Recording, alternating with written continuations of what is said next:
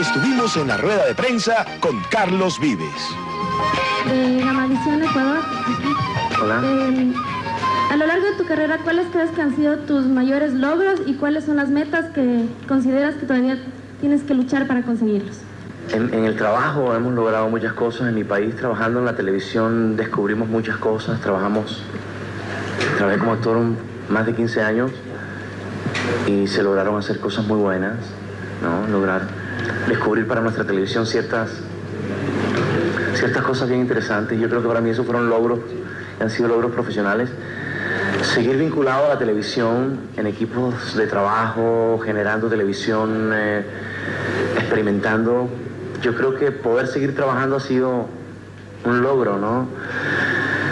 Tanto en la música, tratar de, de, de, romper las barreras de los tiempos y poder seguir siendo, tener un equipo estable, yo creo que es lo mejor, el mejor logro. Y eso es lo que nos permite es como seguir hacia adelante, no importa cuántos años podamos llegar a tener, sino que vamos a seguir trabajando en lo que nos gusta. Yo creo que vamos para adelante también. El cariño de la gente, el apoyo uh, y la credibilidad que ha tenido nuestro trabajo, es, yo creo que es un logro muy decente y tener las ganas de, de, que lo nuestro no es una moda, sino que tenemos que seguir trabajando para ello y podamos seguir generando cosas buenas, generar eh, no solamente trabajo para nuestra localidad, para nuestros músicos, para nuestra familia, sino seguir aportándole la música local.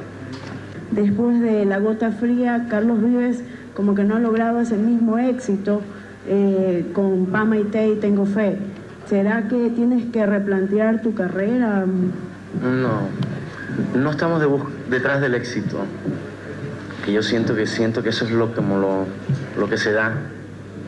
Nosotros ni, ni, ni cantamos clásicos de la provincia buscando el éxito, ni lo que creemos que viene a continuación debemos pensar que debemos buscar el éxito. Nosotros queremos hacer la música que queremos hacer que nos corresponde como músicos nativos o como músicos locales, eh, de que sea un, un, mensaje digno y bueno, que pueda expresar definitivamente ese sentimiento o esos ritmos o esa fusión y esa mezcla de culturas que somos en América, más digamos en nuestro Caribe colombiano o en nuestro país Colombia.